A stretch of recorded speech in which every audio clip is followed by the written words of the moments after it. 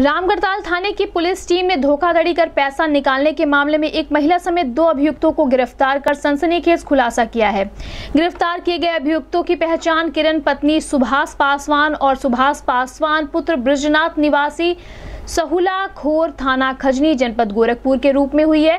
इस संबंध में सीओ कैंट सुमित शुक्ला ने बताया कि गिरफ़्तार की गई महिला द्वारा कूट रचित दस्तावेज़ बनाकर धोखाधड़ी कर जाली हस्ताक्षर बनाकर दूसरी महिला की बैंक खाते से पैसा निकालने के संबंध में गिरफ़्तार किया गया है। इसमें इसका पति भी शामिल था, उसे भी गिरफ़्तार कर आज जेल भेज दिया गया है। इस संबंध में गोरखपुर न्यूज़ से बात करते हुए सीओ कैंट सुमित शुक्ला ने कहा।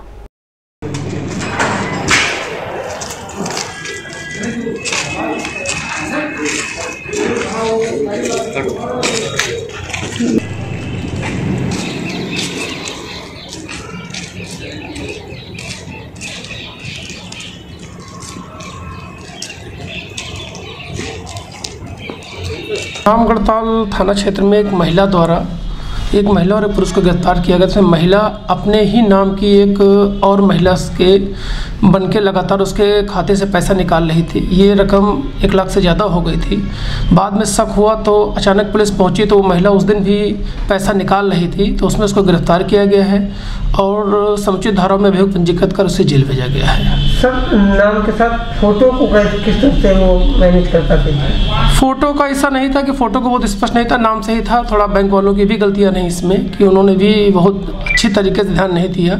लेकिन शुरुआत से यही महिला आती रही इसको पता चल गया कि हमारे नाम की महिला है और ये लगातार पैसे निकालती रही और उसका दुरुपयोग करती रही। सर कितना पैसा निकाली होगी लगभग डेढ़ लाख के आसपास अभी सूचना मिल रही है बाकी और पता कराया जा रहा है। सर इसके पहले भी किसी कोई लोग ठगी का शिकायत बनाया? नहीं इस महिला पे हमारे थाना मतलब थाना क्षेत्र में तो ऐसी जानकारी नहीं आई। बाकी पता कराया जा रहा अगर कहीं आई होगी तो वहाँ भी जो अभियोग अगर पंजीकृत होगा तो इसमें रिमांड इस महिला का कराया जाएगा। इस महिला के साथ जो पुरुष है सर वो कौन है?